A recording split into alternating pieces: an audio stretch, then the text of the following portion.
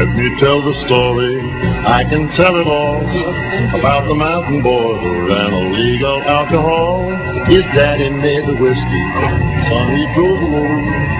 And his engine for they call the highway Thunder The face of Southwest Virginia has changed a lot since Robert Mitchum recorded Thunder Road back in the 50s. But the cat and mouse game that is the illegal liquor business remains pretty much the same. In the backwoods, the hills and hollers of Franklin County, you'll still find the moonshiners cooking up their finest and the revenuers hunting them down.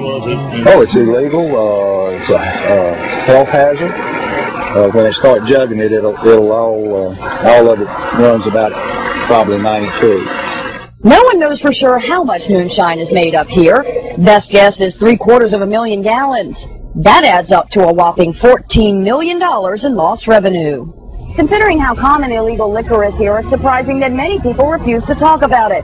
Suspects and their attorneys won't, and neither will the sheriff. Even those long out of the business are afraid to go on camera.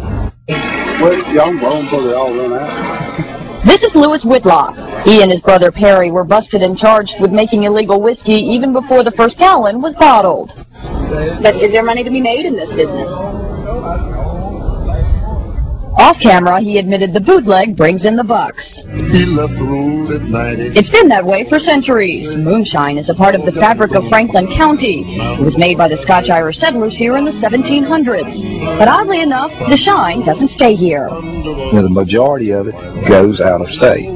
Philadelphia, uh, D.C., and, and, you know, certain people have the markets cornered.